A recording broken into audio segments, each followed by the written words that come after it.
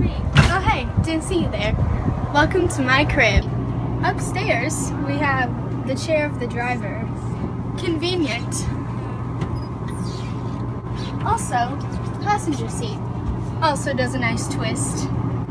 Over here, you'll find some rocking chairs. This one's better though. It's more high quality, more advanced.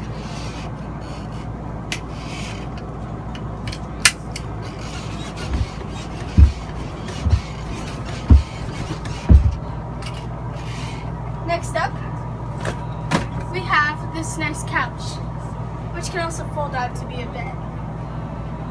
We have the kitchen table, where you can also sleep.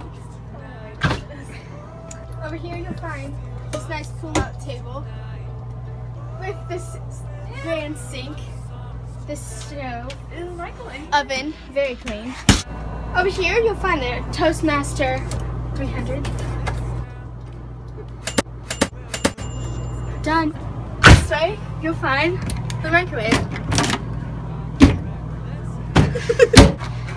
Here's the fridge. We like to keep it full always. This is the freezer. You can often fit small babies or cats inside. If you walk over here, you find a nice mirror and some storage space. How convenient. Also doubles as a bed. Keep coming. Here's a nice shower.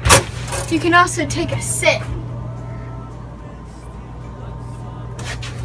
Make your way this way and you'll find a nice mirror with a surprising sneaked in toilet. Great for road trips. Sitting here, someone drives by, you know them, turn around. What up? There they are. Keep following me this way. Here you'll find the master bedroom. Wait, there's more. This is my room. I often get in here and hide from my enemies. Here are the windows.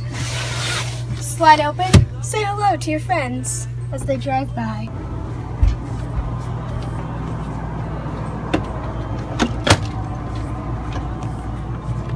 Let's show the exterior. Here's the door.